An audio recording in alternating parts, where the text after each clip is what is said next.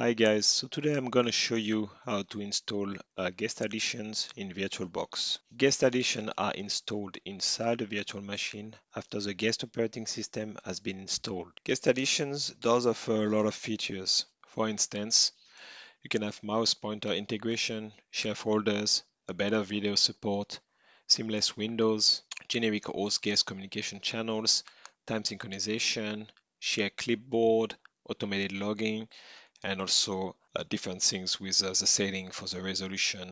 So for instance, after installing Windows 11 on VirtualBox, you try to display the settings for the resolution.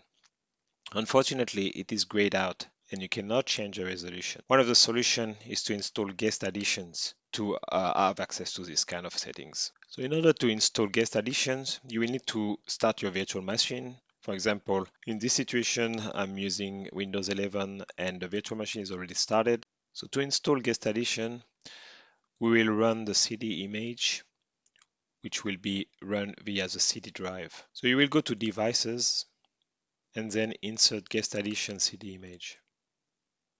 Once you have done that, you will be able to see the CD drive that is containing VirtualBox guest addition. You will then double click on it then the UAC prompts will come up and you can click on yes. The application will run and you will be able to start the setup. Click on next. We will leave the default settings and then we click on install.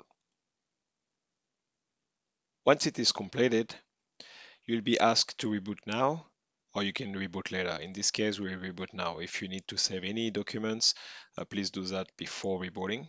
So in this case, we reboot now. The VM will restart Windows 11 just restarted. So we'll just log into it. And now let's try to change the resolution again.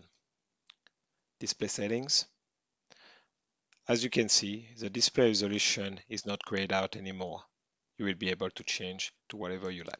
So I hope you enjoyed this video. Thank you for watching. Please like and subscribe and have a good day.